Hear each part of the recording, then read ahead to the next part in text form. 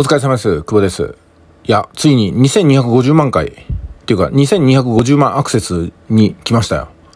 うん、やっぱりね、1000万アクセスって超えたい壁だったんですけども、まあそれを大きく超えて今ね、2250万回アクセスを突破したということで、Google ありがとうって感じですよね。まあこのぐらいアクセスが取れれば、もう何でもかんでも思い通りのような気がしますけども、実はそうでもないんですよね。やっぱね、1000万、2000万のアクセスって、うん、取ってみたら、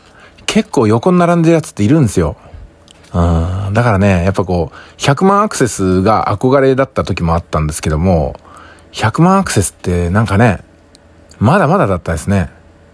2250万アクセスでも、もうなんか今じゃ平凡っていうかね、大したことないんですね。で、これ10万アクセスです、これは。10万。これが6万でしょあの、アフィリエイトを思いっきりやってた時って、1000万アクセスとかなかったんでね、それでもやっぱり、月収100万とかいきますからね、うん、今はなんかすごいライバルが強いんだなと思うような一件でした。うん、まあ、どのメディアにアクセスされるのかっていうのにも違いが出るんですけども、2250万回ね、やっぱりね、生きてるうちに来れてよかった。うん、すごい。ありがとうございます。